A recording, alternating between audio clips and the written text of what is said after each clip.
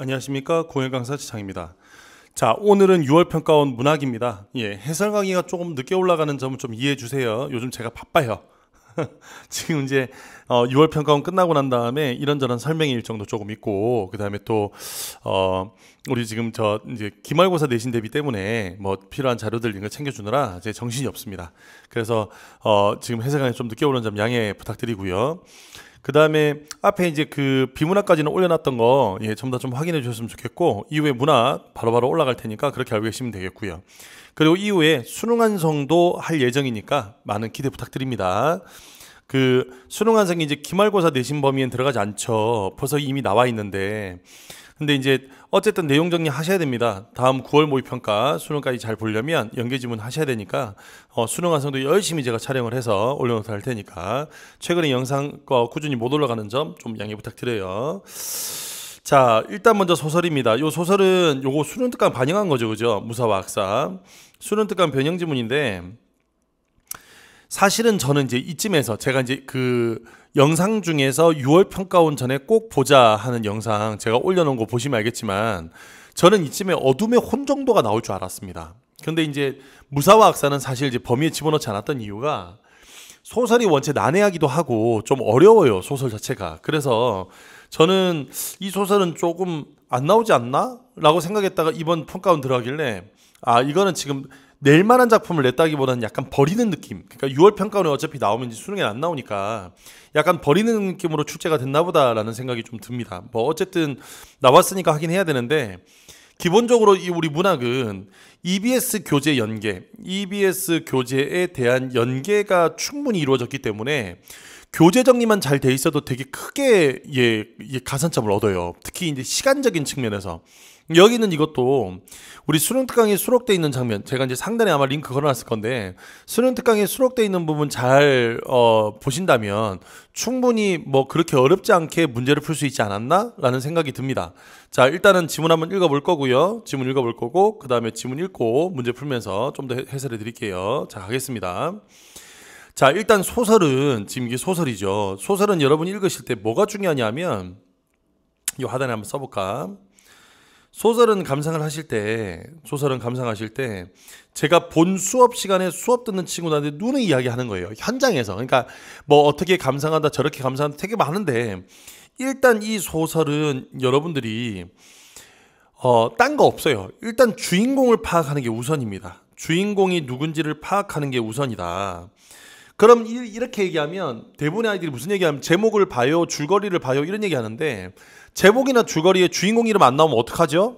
무슨 말인지 이해됐죠? 게다가 또 연계 지문이 됐다 하더라도 이게 다른 부분이 발췌돼서 나올 거기 때문에 반드시 그 소설의 주인공이 A면 A다 이렇게 될 수 없을지 모릅니다. 그렇기 때문에 요 뒤로 문제로 가서 문제로 가서 문제의 선지에서 얘를 파악해 줘야 돼요. 그러니까 예를 들면 봐 보세요. 자, 문제가 나오죠. 1번, 2, 18번, 19번은 그렇다 치고 여기는 20번에 보면 나, 나, 저, 나, 저, 기범, 기범, 나, 저, 저, 기범. 이렇게 나오는 거 보니까 모두 세 사람이야. 나가 필요하고, 저가 필요하고, 기범이 필요해. 요 세 사람이 주인공이란 걸 알 수 있어. 그러니까 문제를 통해서 가장 많이 언급된 사람이 주인공이라는 생각으로 들어가시면 됩니다. 알겠죠? 무슨 말인지 돼? 나, 저, 기범입니다. 여기는 세 사람 읽어주면 되는 거예요. 본문 지문에서. 그래서 일단 본문 지문에서는 주인공이 누군지를 파악한다. 선지를 통해서. 그 다음 두 번째. 그러면 지문에서는 뭐 해야 되냐. 그 주인공의, 주인공의 처지나 심리. 여기서 심리라는 건 생각입니다. 생각. 생각, 감정 이런 거. 요런 것들에다가 밑줄을 치면서 읽어주세요. 그냥 가는 게 아니라 소설을 문제 풀라 그러면 밍숭맹숭 아무것도 그어져 있지 않는 친구들이 있어요. 그러면 안 되고요. 반드시 인물의 심리나 처지에다 밑줄이 꺼져 있어야 돼요. 이게 여러분이 푸는 문제의 정답이야. 나중에 보시면 알겠지만 여기는 이것도 그렇고 뒤쪽에 있는 채원감별곡도 마찬가지예요. 인물의 심리가 뭔지를 파악하면 뭔지를 파악하면 자연스럽게 여기는 문제 다 풀립니다. 알겠죠? 그래서 여기 아까 나왔던 나, 저, 기범 이 세 사람이 어떤 생각을 했는가를 본문지문에서 찾아주는 과정이다. 그게 소설이다 생각하시면 되겠어요. 무슨 말인지 알겠죠? 그게 소설이다라고 생각하시면 돼. 자, 그럼 요거 잘 감안하시고 지금부터 본문 지문 한번 읽어보도록 하겠습니다. 갑니다. 앞부분 줄거리가 나오네요. 자, 이렇게 앞부분 줄거리 나오면 두 가지를 파악합니다. 첫 번째, 반드시 여기에 뭐가 나오냐 하면 주인공의 처지가 나옵니다. 알겠죠? 이미 우리는 나와 저와 기범이 주인공인 거 알고 있기 때문에 나와 저 기범이 어떤 처지에 있는 사람인 걸 파악을 해야 돼. 이 줄거리를 통해서. 자, 그 다음 두 번째. 요렇게 줄거리를 파악했다면 두 번째, 뭘 해주시는 게 좋으냐? 기범의 행적을 잘 알고 있는 어쩌고 뭐 이런 얘기 쭉 나오는데 이게 맨 마지막에 특히 여기에 일규의 장례식 후에, 봐. 일규의 장례식 후에 있었던 기범과의 과거 일을 회상한다 했으니까 여기는 이 본문 지문이 과거 회상인 거예요. 즉 다시 말하면 줄거리의 마지막 문장은 줄거리의 이 마지막 문장은 반드시 여러분이 읽을 지문과 연결된다는 사실을 기억해 두셔야 돼. 그래서 마지막에 회상한다 그랬으니까 본문 지문은 회상으로 시작하는 겁니다. 이해가 됐습니까? 자, 그래서 요 앞부분 줄거리를 잘 읽어줘야 여러분들이 파악하기가 쉬워져요. 됐죠? 자, 그럼 한번 읽어볼게. 나는 기범이 죽기 전에 무슨 일이 있었는지 알기 위해 자 나와 기범이 나왔어. 그가 살던 구천동을 찾아가. 자 이제 구천동을 찾아갔어요. 기범의 행적을 잘 알고 있는 임씨를 만나 임씨 그럼 아마도 얘가 아까 제봤던 그 저라는 사람일 가능성이 높겠죠 그죠 왜냐하면 나하고 기범하고 저가 나오는데 나하고 기범하고 저가 나오는데 여기서 나와 기법은 나왔으니까 저는 임시여야 맞는 거잖아 논리적으로 그지? 그래서 임시를 만나 사연을 듣기 전에 일규의 장례식 후에 있었던 기범과의 과거 일을 회상한다. 그래서 기범이 어떤 사람인가를 우리가 다시 한 번 더 머릿속에 파악하고 가는 거라고 생각하시면 됩니다. 자 그럼 이건 과거의 상이 되겠죠. 갑니다. 네가 일규를 어떻게 하냐? 내깐 게 뭘 한다고 감히 일규를 입에 올리냐? 기범은 술, 순간 잔을 던지고 미친 듯이 웃기 시작했다. 너무나 너무나 도련한 웃음이어서 나는 그때 꽤나 놀랐다. 기범이 그처럼 미친 듯이 웃는 것을 나는 그날 처음 보았다. 그래, 내 말이 맞다. 자, 봐라. 그러면 지금 이 순간 여기는 이 첫 대사. 자, 여기서 또 하나 기억해야 돼. 요렇게 대사로 시작되면 대사로 시작되잖아. 시작되면 반드시 이 대사가 누가 한 말인지 찾아야 돼. 그러면 여기는 이첫 대사는 누가 한 말이냐면 나가 한 말이야. 자, 나가 니깎게 뭘 한다고 감히 일규를 입에 올리냐 그런 얘기를 했어. 자, 그러면 여기 일규란 사람 하나 더 등장했어요. 일규를 지금 여기 입에 올렸다는 거야. 자, 그러면 여기에 내깡게 뭘 안다고 감히 일규를 입에 올리냐 요런 얘기를 하는 거 봐서 여기는 이 주인공 나는 기본적으로 뭐 기범에 대한 부정적 인식, 기범에 대한 부정적 인식을 가지고 있어. 부정적 인식을 가지고 있어. 자, 그다음. 기범은 순간 잔을 던지고 미친 듯이 웃기 시작했다. 너무나 도련한 웃음이어서 나는 그때 꽤나 놀랐다. 자, 나는 그때 꽤나 놀랐어. 왜? 갑자기 웃어서. 기범이 그처럼 미친 듯이 웃는 것을 나는 그날 처음 보았대. 그래, 내 말이 맞다. 나는 그놈을 입에 올릴 자격이 없다. 하지만 누가 그놈을 진심으로 사랑한 줄 아냐? 잘 봐라. 나는 기범을 입에 올릴 자격이 없다 하는 것은 결국에 이건 자기를 비하한 거야. 그러면 자기를 비하했다는 것은 결국 바꿔 얘기하면 상대방을 높인 거니까 맞죠? 자기를 비한 건 상대방을 높인 거잖아. 상대방을 높인 거잖아 지금 무슨 말인지 이해됐어? 그래서 이건 상대방을 존경했다고도 볼 수 있겠네. 그러니까 여기는 이 애는 내가 함부로 입에 올릴 만한 애가 아니다. 그러면 뛰어난 애단 얘기잖아, 지금. 존경한다고. 자, 이런 자격이 없대. 하지만 누가 그놈을 진심으로 사랑한 줄 아냐? 너희냐? 너희가 그놈을 사랑한 줄 아냐? 자, 오히려 물어봤습니다. 너네가 그걸 사랑한 줄 아냐고. 나는 긴장했대. 그의 눈에서 번쩍이는 눈물을 보았기 때문이래. 자, 나는 긴장했다. 했어. 왜? 그의 눈에서 번쩍이는 눈물을 보았기 때문이야. 이것 때문에 지금 나는 긴장하게 된 거야. 자, 왜? 여기 앞에서 지금 기범은 뭐 하고 있었어? 원래 미친 듯이 웃고 있었죠. 그죠? 미친 듯이 웃고 있다가 갑자기 뭐 하고 있다고 눈물을 흘리는 겁니다. 이해됐죠? 눈물을 흘리는 겁니다. 그러면 우리는 여기서 뭐 하면 되겠어? 그렇지. 지금 여기서 이렇게 하는 거니까 지금 태도가 변화가 됐죠. 그죠? 자, 태도 변화가 일어났는데 이렇게 변화된 태도가 왜 이러는지 한번 가볼게요. 너는 그놈이 아깝다고 했지만 나는 그놈이 죽어 세상 살 맛이 없다. 그럼 잘 봐라. 이것도 잠깐만, 잠깐만. 이것도 그러면 기범이 한 말이면 여기는 이 친구도 기범이 한 말이죠. 이 대사가 누가 누가 얘기했는지 잘 파악하면서 가야 돼. 자, 그래서 너는 그놈이 아깝다고 했지만 나는 그놈이 죽어 세상 살 맛이 없어졌어. 나는 살기가 울적할 때마다 허공에다 그놈의 생판을 찾았대. 나는 그놈을 통해서 살아가는 재미와 즐거움을 느꼈다는 거야. 그러나 그놈 역시 사정은 나하고 똑같았어. 나를 발길로 걷어찼지만, 그러니까 나를 발길로 걷어, 걷어찼다는 것은 여기는 이 일규가 기범을 무시했다는 얘기가 되겠죠, 그죠? 발길로 걷어찼지만 이 말은 무시했다는 뜻인 거야. 무시했어. 무시했지만 그놈은 나를 잊은 적이 없어. 우리는 서로 사랑했지만 사랑하는 방법이 달랐을 뿐이야. 됐어? 자, 이렇게 얘기한 거야. 그 말은 무슨 말이냐 하면 교육의 기범 기범은 자기 생각에 일규가 자신을 필요로 했으나 필요로 했으나 서로 서로 방법이 달랐기 때문에 그러니까 사랑했지만 방법이 달랐기 때문에 서로 이게 필요로 했으나 방법이 달랐던 거야. 방법이 달랐던 거야. 무슨 말인지 알겠죠? 기범의 생각에선 그래. 그러므로 지금 오히려 너보다는 지금 내가 더 일규랑 가깝다는 얘기를 하고 싶었던 거야. 자, 그, 자, 여기까지 이렇게 나왔어. 일규랑 가까웠대. 자, 인물의 심리 알겠죠? 그죠? 그러니까 지금 여기는 이 기범은 일규가 좋았어. 그리고 일규는 자기를 좋아했어. 이렇게 생각하고 있는 겁니다. 자, 이걸 지금 나는 이해를 못했어요. 그죠? 자, 그래서 중약으로 갑니다. 중약. 원래 그 사람은 도해지에 살던 사람인데, 자, 원래 그 사람 할 때 여기는 이 그 사람은 당연히 기범이야. 자, 아까 전에 우리 줄거리 한번 볼까? 줄거리에 뭐라고 했냐면 이렇게 돼 있어. 기범의 행적을 잘 알고 있는 임 씨를 만나 사연을 들었대. 이렇게 사연을 들었다는 거야. 그럼 이게 어딘데? 중약 부분 이유 내용이잖아. 중약 부분 이유 내용. 요게 이제 중약 이유가 되는 거예요. 중약 이후 내용이야.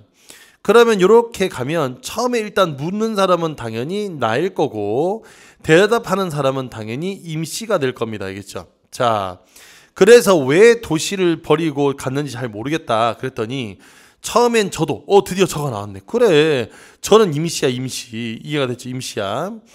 저도 많이 궁금하게 생각했습니다.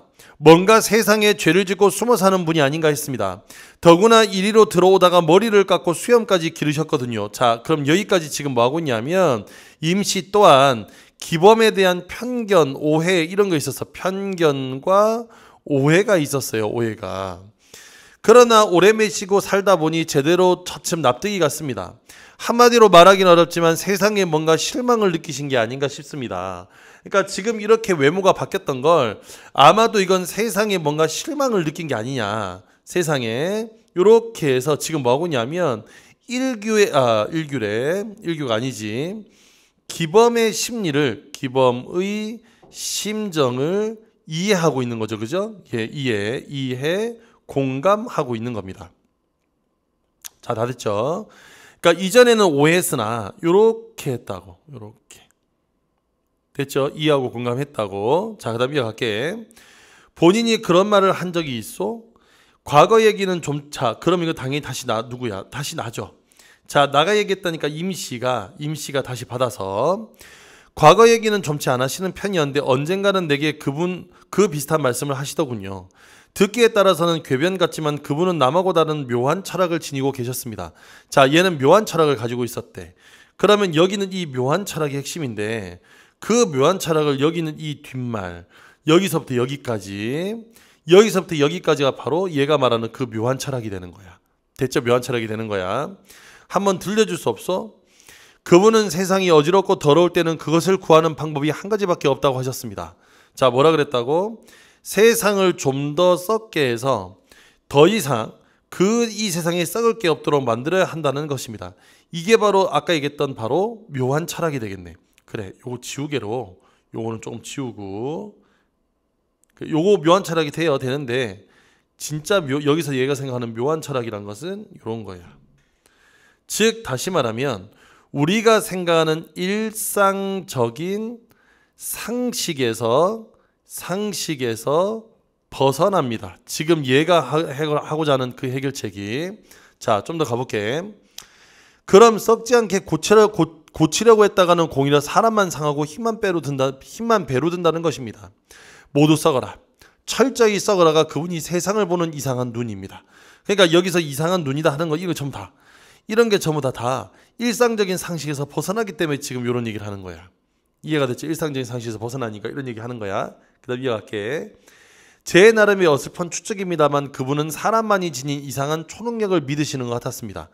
그러면 여기서 이상한 초능력 다 마찬가지야. 이것도 이것도 당연히 일상적인 상식에서 벗어나는 거야. 그래서 초능력이라고 표현한 거예요. 계속 갑니다. 사람은 온갖 악행에도 불구하고 자기 스스로를 송두린 채 포기하지는 않는다는 것입니다. 세상이 철저히 썩어서 더 썩을 것이 없게 되면 사람은 살아남기 위해 언젠가는 스스로 자구책을 쓴다는 것입니다. 당신은 바로 그걸 믿으셨고 이러한 자기 생각을 부정의 미학이라는 표현으로 말로 부르시기도 했습니다. 그러니까 결국에 지금 얘는 이런 걸 믿었어. 이렇게 살아왔다고. 더이 더 썩게 만들면 스스로 자, 다시 한 번 더. 세상이 철저히 썩어서 썩어서 더 더 썩을 것이 없게 되면 사람은 언젠가 살아남기 위해 언젠가는 스스로 자구책을 쓴다는 거야. 이해돼? 자구책을 쓴다는 거야. 그러면 이게 얘가 생각하는 뭐가 된다고? 요렇게 이상한 초능력, 즉 다시 말하면 여기는 이 묘한 철학이 되는 거예요. 그러니까 썩어 놓으면 사람들이 알아서 자기를 구해 살 거라는 거야. 이해가 됐죠? 구해 살 거라는 거야. 자, 그러면 여기까지가 여기까지가 누구 누구의 생각? 누구의 생각? 그렇죠. 바로 기범의 가치관입니다. 기범의 가치관 혹은 삶의 태도가 되겠어요. 자, 됐죠? 기범의 가치관, 삶의 태도가 되겠어. 요거를 요거를 요렇게 몇몇 대사를 통해서 압축적으로 보여주고 있는 거예요. 나는 순간 가슴 한구석에 뭔가가 미미하게 부딪혀오는 잔등을 느꼈다. 그러면 여기서 미미하게 부딪혀오는 진동이란 건 어, 잔등을 느낀 게 진동을 느꼈네. 예. 여기서 지금 글자가 좀 멀어서 예. 부딪혀오는 진동이란 건 결국 부딪혀오는 진동이란 것은 정신적인 충격이 되겠죠. 진동의 증상은 확실하지 않지만 나는 그것이 기범을 이해하는 어떤 열쇠가 아닌가 생각을 했어. 그러니까 나는 기범을 이해하는 어떤 열쇠가 아닌가 생각을 했대. 자, 생각했다는 건 중요하다 그래서 인물의 심리라고. 그래서 여기서부터 지금 뭐가 바뀌기 시작했냐면 기범에 대한 나의 인식, 기범에 대한 나의 인식에 변화가 온 거야. 대체 변화가 온 거야. 나 인식이 변화가 오기 시작했어. 마이너스에서 뭘로 바뀌었다? 플러스로 바뀌어간다. 이해가 됐니? 그런 온갖 기행과 개변들이 어지러운 혼란 속에서 그제야 언뜻 한 가닥의 질서 위에 어렴풋이 늘어지는 것이었다. 그러니까 이 모든 것들이 이제 한 가닥의 질서가 생긴 거야. 왜 그런지 이해하게 되었다고. 헌데 세상에 대해 그런 생각을 가진 지은분이 갑자기 왜 세상을 등지고 이런 산속에 박혀 사는 거요? 했더니 당시에서 아끼시던 친구 한 분이 갑자기 세상을 버리셨다고 하더군요. 자, 그러면 여기서 친구 한 분이 세상을 버리셨다는 것은 친구 중에 한 명이 뭐였다고? 친구 중에 죽음이 있다고. 됐어? 그러면 친구 중에 죽음이 있다 할 때 이 친구는 누가 되겠니? 그렇지. 얘가 바로 아까 전에 말했던, 아까 전에 말했던 기범이 아니라, 기범 스스로가 아니라 누구? 친구가 죽었다 그랬으니까. 그렇죠. 일규가 되겠죠. 그죠? 일규가 되겠네. 그지? 어. 그래서 일규가 갑자기 세상을 버리고 난 다음에 이 세상을 등진 거야. 자, 그 다음. 누구랍니까? 그 친구가. 이름은 말씀 안 하시고 그 친구를 언제나 미련한 놈이라고 부르셨습니다. 오일규다. 나는 그제 오일규의 장례식 후에 기범이 격렬하게 짓거린 저 시끄럽던 요설들이 생각났다. 자, 요설들은 뒤에 나올 겁니다. 어쩌면 기범은 그때 이미 세상을 등질 결심을 했는지 알 수 없다. 아니, 그는 얼마 후에 내 앞에서 정말로 깨끗하게 사라져버린 것이다. 그러니까 그 이후에 사라져버린 거야. 그래, 그래, 그 친구가 죽은 후로 왜 세상을 등졌답니까? 세상 살 재미가 없다고요 하시더군요. 아마 친구분은 꽤다 좋아하셨던 모양입니다.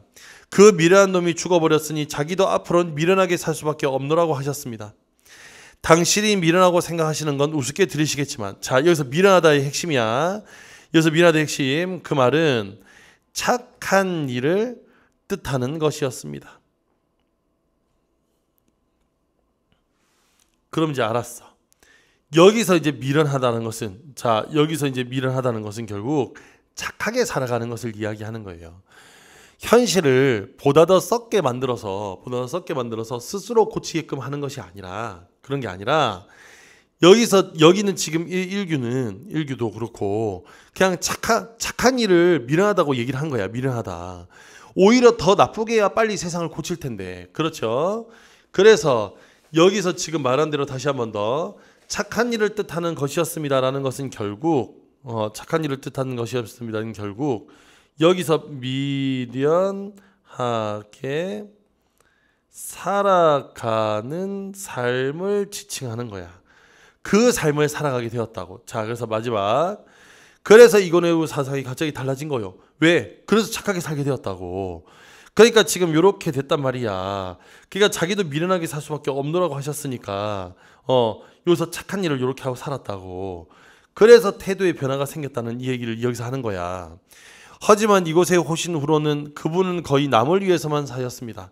자, 그러면 저 전 그분의 과거를 모서 어떻게 다른지 잘 모릅니다. 대신에 이곳에 오신 후로는 그분은 남을 위해서만 사셨습니다. 이렇게 되겠네. 됐지. 그러면 여기서 남을 위만 샀다는 것이 이것이 결국 기범의 이면적인 삶이었던 거야. 여기는 주인공 나는 몰랐던 제가 생명을 구한 것도 여전 순전히 그분 덕입니다. 나는 다시 기범이 짓거렸던 과거의 요설들이 생각난다. 세상을 항상 역으로만 바라보던 그의 난해성이 또 한 번 나를 혼란 속에 빠뜨린다. 그는 어쩌면 이 세상을 역순과 역행에 의해 누구보다 열심으로 가장 솔직하게 살아간 것 같다. 그에게 악과 선은 등과 배가 서로 붙어 있는 동이 동질의 것이었는지도 알 수 없다. 그는 악과 선중 아무것도 믿지 않았고 오직 믿은 것이라고는 세상에 아무것도 믿을 것 없다는 사실뿐이었다. 그와 오유기가 맞부딪혔을 때 오유기가 해체되는 것은 너무나 당연하다. 그것은 가장 비열한 삶이 가장 올바른 삶을 해체시키는 역설적인 예인 것이다. 그러니까 지금 여기서 뭐 했냐면 자 여기서 여기는 이 주인공 나는 주인공 여기 있는 이 주인공 나는 결국에 누구에 대해서 예 기범에 대한 자신의 이해인 거야. 됐죠? 기범에 대한 이해가 이루어졌어. 기범에 대한 이해가 공감, 이해 이런 것들이 이루어집니다. 됐죠? 공감, 이해 이런 것들이 이루어졌어요. 그래서 기범의 이해를 통해서 뭐 하고 있냐면 나의 인식의 변화를 인식의 변화를 여기다가 서술해 놓았다. 자, 다 됐습니다. 그러면 자, 그러면 여기서 여기서 지금 임시의 내용을 통해서 이렇게 바뀌어갔다는 거 알겠죠, 그죠? 예, 인식의 변화가 왔어요. 자, 그럼 문제 한번 풀어보겠습니다. 18번 A의 설상의 특징으로 가장 적절한 것은 그랬어요. 이야기 내부의 서술자, 이야기 내부의 서술자, 이야기 외부의 서술자, 이야기 외부의 서술자, 그리고 이야기 외부의 서술자가 이렇게 나오지, 그지? 자, 그러면 이게 뭐냐면 시점 물어보는 거야, 시점. 이렇게 내부, 외부 이런 건 시점이야. 이건 1인칭 얘기하는 거고 여기는 이 세 개는 3인칭 얘기하는 거예요. 그런데 A의 서울상의 특징이잖아. A에 누가 나와? 그렇지 나가 나오지. 나가 나오는 거니까 자동적으로 3번과 4번과 5번은 답이 안 돼. 3인칭이니까. 자, 그러면 1번, 2번 둘 중에 하나가 답인데 잘 들어봐. 이 객관적으로 서술한다는 말은 1인칭은 불가능한 거야. 이것 자체가 뭐냐면 모순이에요, 모순. 이루어질 수 없어요. 잘 봐라. 내 눈으로 바라봐서 어떤 사건을 쓰는 거야, 1인칭은. 그러면 이미 내 눈을 통해서 이 소설에 적용, 적용이 되는 거지. 내 눈을 통해서 적용이 되는 거야. 그러면 내 눈을 통해서 여기에 적용되는 거니까 얘는 뭐라고 해야 돼? 당연히 주관적이지. 그러니까 객관적으로 서술하는 건 3인칭이나 가능한 거예요. 3인칭이나. 그 중에서도 3인칭 관찰자 시점이. 그러니까 3인칭에서 가능한 거니까 이거 자체가 모순이라서 얘는 틀려서 얘는 답이 안 돼. 답이 아예 될 수가 없어. 대신에 여기에 관념적으로 서술했다라는 말이 있는데 이 관념적으로 서술했다는 것은 뭐냐면 생각이나 심리 등을 서술했다 이런 뜻인 거야. 그러면 첫 번째 봤더니 뭐가 나와? 그래 과거의 요설들이 생각난다며 과거의 요설들이 생각난다며 그런 측면에서 보면 이거 관념적으로 서술한 거 맞아 아니야? 맞겠죠. 그래서 정답은 몇 번? 2번. 2번이 정답이야. 됐지? 자, 그 다음 19번. 자, 19번을 위에 상단에 쓸게요. 이건 인물의 심리와 태도를 물어보는 거야. 인물의 심리와 태도는 반드시 밑줄을 활용할 거기 때문에 밑줄의 바로 앞뒤 내용을 잘 확인해야 돼. 앞뒤 내용을 잘 확인해야 됩니다. 알겠죠? 자, 1번에 참 기억 보시면 자, 기억 볼게요. 기억이 이렇게 돼 있죠. 긴장했대요. 그런데 앞에 웃기 시작했다가 있고 뒤에 눈물을 보았다가 있으니까 이것 때문에 지금 내가 놀란 거잖아. 그래서 1번에 갑작스런 심정 변화. 이거 맞는 말이지, 그지? 자, 2번. 여기서 신원이란 말은 뭐냐면 신분이야. 얘 신분. 신분이 의, 심하는 상황에서 야. 그럼 니은 앞에 봤더니 여기에 이런 분이 아닌가 생각을 했대. 이런 분이 아닌가 생각을 했대. 그러면 미심쩍은 거 맞는데 얘 때문에 얘 때문에 더구나 얘 때문에 이렇게 됐다는 얘기하고 있으니까 여기는 이것도 맞는 말이죠. 그죠? 예, 맞는 말입니다. 자, 그럼 얘도 맞는 말. 자, 그럼 3번에 세상에 대한 관점이 상식적이지 않아 일반적으로 수긍하기 어렵다. 이게 무슨 말이냐면 여기 얘기하는 거죠, 여기. 맞잖아. 아니, 이거 좀 이상하다. 어, 이상한 초능력을 가지고 있다. 이런 얘기 하는 거니까. 그래서 여기 3번도 맞는 말. 그럼 4번에 약속을 곧바로 실행에 옮긴 행위에 대한 놀라움을 표현. 여기에 약속 리을에 가면 여기 어디에도 여기 어디에도 약속은 나오지 않아요. 그죠? 여기 어디에도 약속은 나오지 않아. 그래서 정답은 4번이야. 약속은 없어. 됐죠? 그다음 미음의 말의 표면의 뜻과 달리 그 속에 숨은 뜻이라고 했어. 그러면 숨은 뜻이란 것은 봐라. 여기에 지금 이게 여기서 미련하게 살아가는 삶인데 이 안에 뭐가 들어있냐면 그래 이 안에 우호적인 관점이 들어있다고 착하게 살았으니까 이해가 됐죠? 그래서 우호적인 거 맞으니까 여기는 이 친구 맞는 말입니다. 됐습니까? 자, 그 다음에 뒤에 20번 문제. 자, 이건 잠깐 치울게, 인물 이름은. 자, 그러면 결국 A는 앞에 나왔던 그 친구의 말인데 그 친구의 말을 통해서 A에 대한 나의 이해는 결국 나의 인식이 전환되는데 기여한다. 이거 맞는 말이지. 그래서 정답은 1번입니다. 알겠죠? 정답은 1번이고 2번. A에 관한 나, A에 관한 얘기를 나가 꺼낸 것은 잘 봐라. 여기에 나가 꺼냈는데 나가 아니라 누가 꺼냈어요? 그래, 저가 꺼낸 거야, 저. 이 묘한 철학은 임씨가 얘기한 거라고, 임씨가. 임씨가 이 묘한 철학을 얘기한 거라고. 그러니까 여기서 나가 꺼낸 게 아니에요. 그래서 틀렸어. 저는 나가 기범에 대해 품은 의문이 피를 바탕으로 하고 있다. 이게 피는 내 생각이지. 여기는 저가. 얘는 임씨야. 임씨가 이걸 아니죠. 이거 바탕으로 하고 있다는 거 아니야. 몰라 B가 있는지. 저는 A로 인해 기범을 오해했다면, 그렇지 A로 인해 오해를 했다고 치자. 오해했다면 나는 B에 의해서 이해한 게 아니라 이것도 오해를 한 거잖아. 여기는 요소들 때문에 오해한 거잖아. 저는 기범이 선행을 베풀어 보인 변화가 B에서 A로의 변화 과정 아니라니까 B를 모른다니까. 원래 A 자체가 이미 그 안에 선행이라는 게 담겨져 있다고 얘는 논리적으로. 그래서 이거 다 틀렸어. 정답은 1번이야. 자 21번. 보기의 관점에서 윗글을 감상한 내용으로 적절하지 않은 것은 그랬습니다. 자 이거 이제 중요한 거예요. 이게 정답이 5번이 되는 이유는 보세요.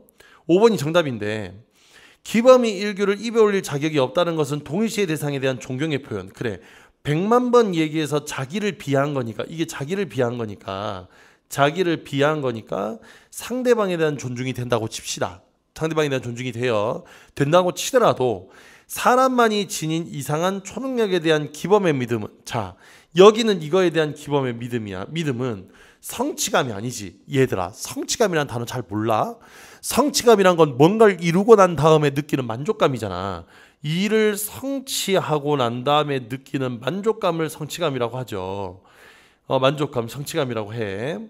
그러면 일을 성취하고 난 다음에 느끼는 만족감인데 지금 여기는 이 요 요 구절 가보면, 자 어디야?